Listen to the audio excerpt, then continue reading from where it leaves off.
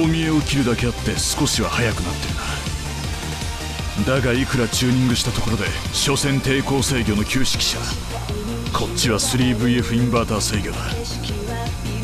40年の差ってやつを嫌ってほど思い知らせてやる。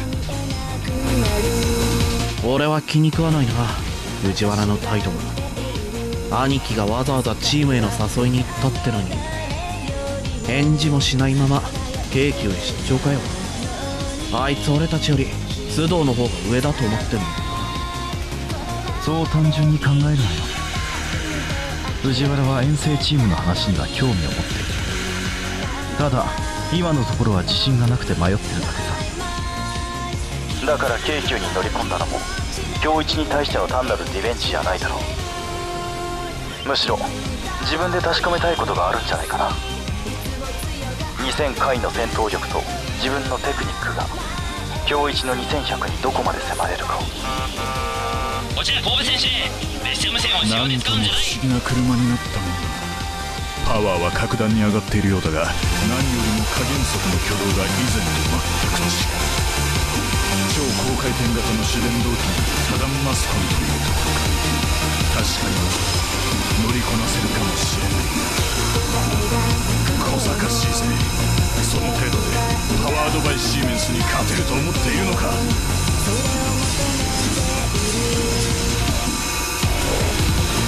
くっそ誰だよ。京急が高速コースだなんて言ったのは。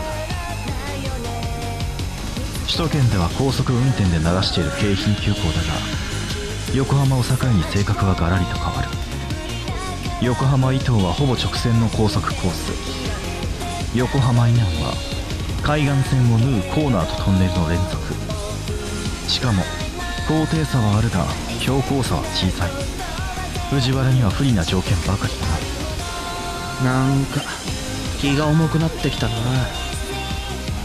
ただ俺にも予想できない要素が一つある。新しい主電動機と制御装置を手に入れた2000回。あれがどこまでやれる車なのか掴みきれていないんだ新鉄バトルでポテンシャルを出し切っていたとは考えにくいからな。こちら神戸選手温泉場に列車を止めて立ち話をするんじゃない。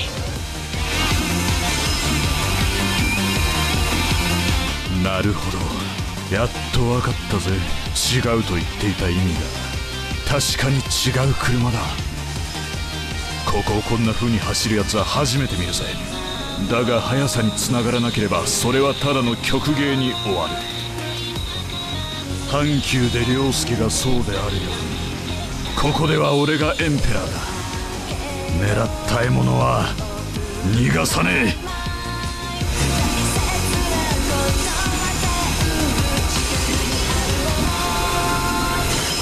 京急本線は横浜を境目に完全に性格が違う。横浜以南は短いストレートと中低速コーナーの嫌になるような繰り返しだ。丘陵地帯を縫うように進みいくつもの山岳トンネルを抜けるどんな奴が来てもここでは今日一にかなわない。京急本線で鍛えられたテクニックにかかれば高速運転で鳴らす2100がまるでコマネズミのようにくるくる回る派手さはないが年季の入った職人のように渋い仕事をする。今日一は中低速コーナーの鉄人なんだどんな奴が来ても今日一には勝てっこねえんだ。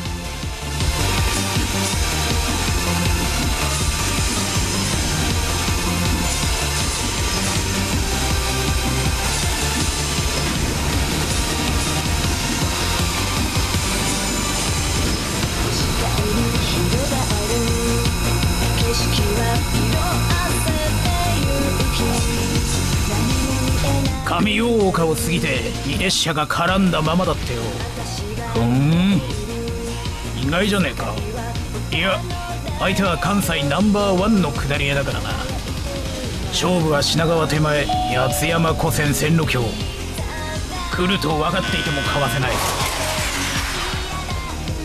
今日一のカウンターアタックで全てが終わる。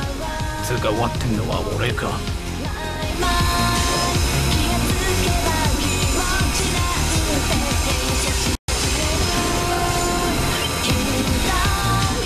少し楽に仕留められると思っていたが確実にいけるところまで待つか。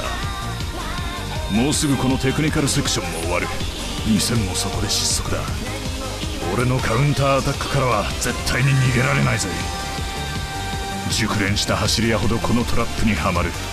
それはテクニックとは別な人間の本能的な感覚だからだ。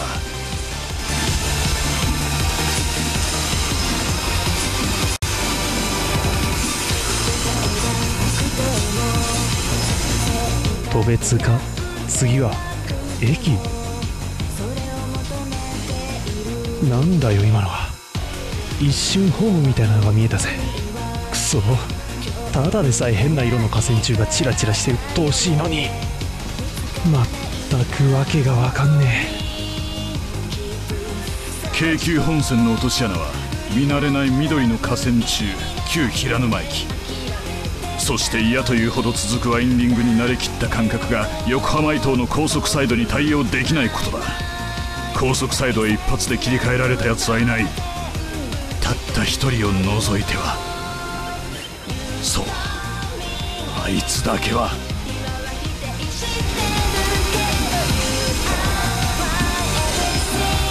え横浜ここから首都圏屈指の高速コース。テクニカルセクションはこれで終わるここからは本物のパワーが必要なんだ。見せてやるぜ。須藤恭一流勝利の方程式。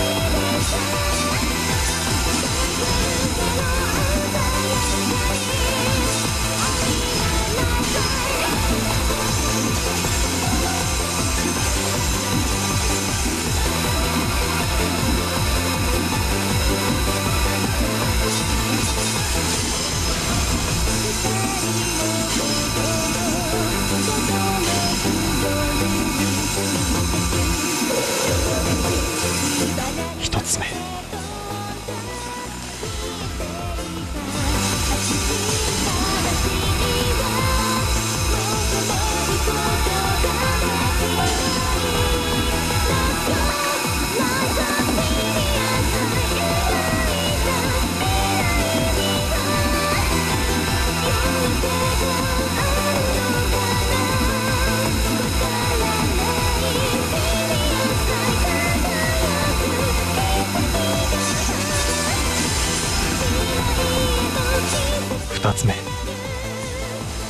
気が遠くなるほど長いストレートの先に思い出したように現れる高速コーナー。